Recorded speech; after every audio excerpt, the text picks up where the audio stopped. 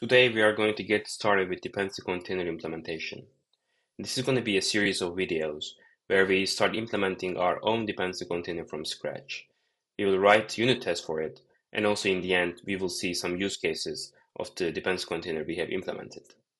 But in this video today we are going to start by defining what dependency container is and what problems they can solve for us. So dependency containers are essentially dictionaries that store key and value pairs.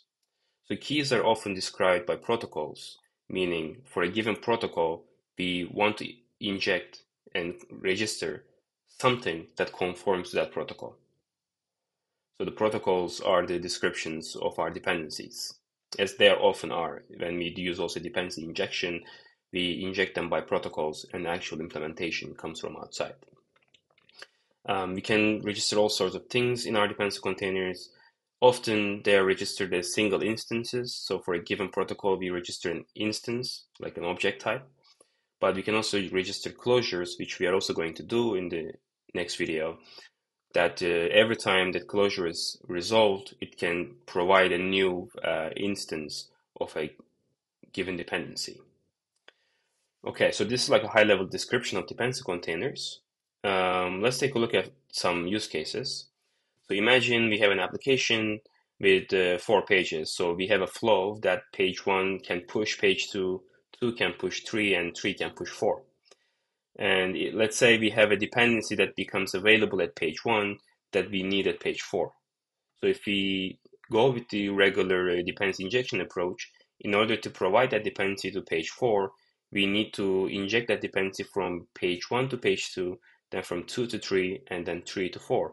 But 2 and 3, they don't need this dependency, so we are going to be unnecessarily injecting them until it can reach where it's needed. So we can use dependency container in this case. When we have the dependency here at page 1, we can register it inside our container and directly resolve by talking to the container from page 4. So page 2 and 3 they don't need to know about um, this dependency at all. So let's take a look at another use case for dependency containers. So let's say um, we are using networking in page one and page two, some networking service, and we want to use a single instance for it, and we are using singleton for that because we want to maybe add all these networking requests going into a queue, so we don't want to create different instances. We want to be able to control that. And usually you can create a singleton to make that work. But yeah, singletons are not ideal. They can get more complicated and maybe hard to test them as well.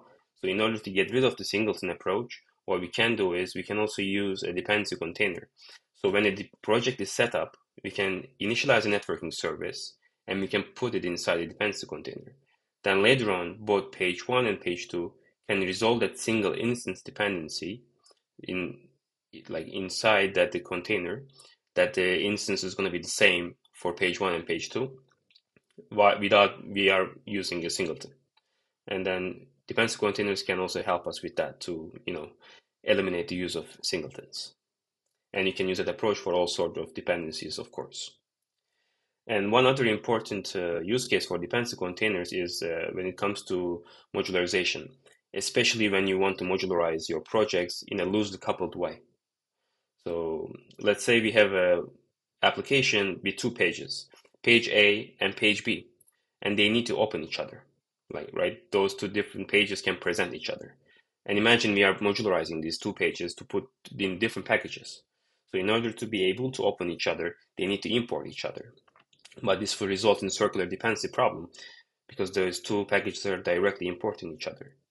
As a solution, what we can do is to use uh, interface and implementation package approach.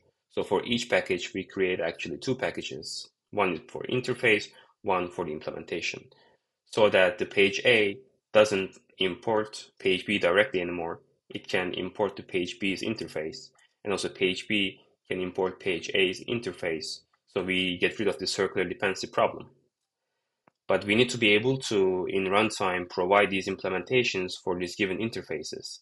And this is also done with dependency containers. Because in runtime, in dependency containers, we will be registering page A for page A interface and page B for page B interface. So whenever later on page A needs a page B interface, the actual implementation will be provided from the dependency container because it was registered earlier so that these two packages can be loosely coupled and we also get rid of the circular dependency problem. So for a big modularized projects, dependency containers are also a must. So yeah, if we sum up now, like the dependency containers, um, as I said, they are like dictionaries and we can register all sorts of different services in them. For example, yeah, for a key analytics interface, we can register analytics instance. And also for networking interface, we can register networking implementation and they can be resolved later on from our different modules. Okay, so that's it for today's video. So now we have took a look at the general use cases of dependency containers. And in the next video, we are going to start building our own dependency container from scratch. We will be able to register instances and also closure type dependencies. Make sure to subscribe to my channel to get notified when the next video is out and see you next time.